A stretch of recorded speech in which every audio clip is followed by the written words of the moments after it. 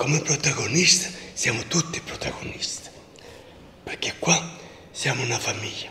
Io mi sono avvalso anche il vecchio e il giovane, io con le mie idee e lui con le sue idee innovative. Allora io mi sono occupato della fiera di San Vito dal 1998.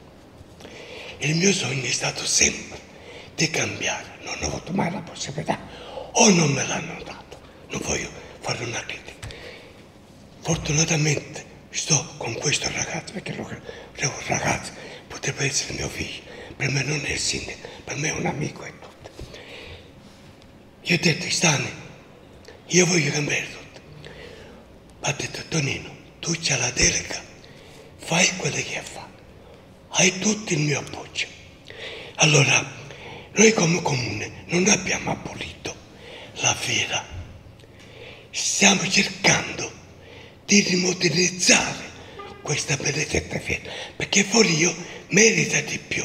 A livello turistico, chi viene non deve vedere questi, io li chiamo signori, che sono tutti lavoratori, questi che vengono da Napoli, non mi permettere mai di dare degli aggettivi impropri.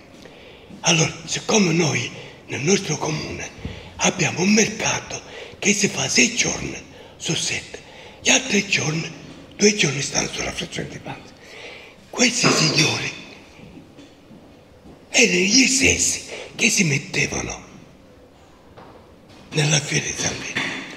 Allora ho pensato, ecco, di cambiare e con l'aiuto di David e col sindaco di fare delle cose innovative.